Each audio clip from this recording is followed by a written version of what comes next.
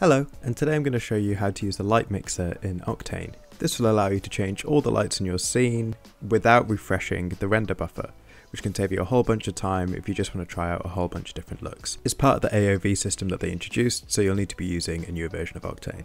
Um, I'll just speed through here of me actually just creating a scene. I was just creating a dummy perfume bottle, which seems to be the craze right now, um, on a concrete plinth um, with my own Pure logo.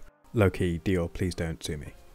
So the first thing to do is to make sure that all the lights in your scene have their own unique light pass ID. So I'm going to keep my main light on 1, I'm going to change my hair light to number 2, and I'm going to change my side light to number 3. Once you've done that, you want to open up the render settings, and to make sure that you're in Octane Render, go over to AOV Groups, and you'll see here a drop down with a load of bunch of different presets. You want to click Light Mix node and click Apply. As soon as you click Apply, you'll see all the different AOV passes in your renderer at the bottom here.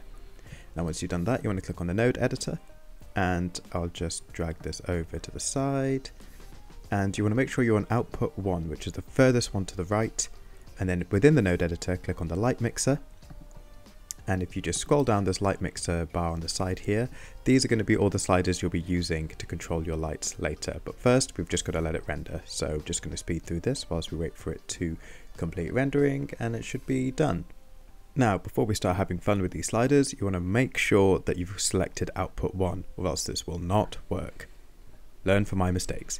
Now, if I start messing around with these things, so this one is the ambient light, so I actually have a HDRI in here, and you'll see that doesn't make that much of a change, but this one will.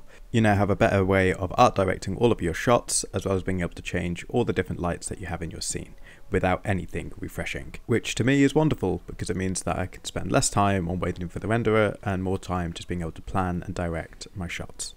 Now you can also change any of the colours of these lights, so I'm going to change this to a yellow just to match the bottle, and then I'm going to change my hair light to something like a blue, just so it catches a bit more of the reflections, and you know you can still change the intensity, and I'll change this to say an orange just so it bounces off the concrete a little bit more.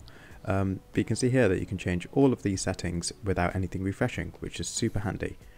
Now, just a word of caution, if you are planning on changing a lot of the colours of your lights, I recommend you changing it from black body to texture emission when you select it in the main part of your light tag settings. This is because a black body emission also has a temperature slider, which is what you will use to change the white balance of your light, and this will fight with the colour that you select in the light mixer. So if you plan on using lots of different types of colours, when you're building your scene, just make sure you set all of your lights to texture as opposed to black body emission. Now, an added benefit of doing it this way or setting up your AOVs with the light passes or these light tags means that if I save out a PSD and open Photoshop, all of your lights in your scene will come through as layers. So I have my HDRI, I have my light ID 1, 2 and 3 and any ambient light in the scene as well. So it's a really powerful way of you being able to art direct specifically all of your shots with all the different lights that you have in your scene. So just be mindful that when you are creating your scenes, you've got a maximum of eight different light IDs that you can use to group your lights together if you need to. Um, that's it from me. I hope that helps and uh, let me know if you have any comments below and I'll be happy to help.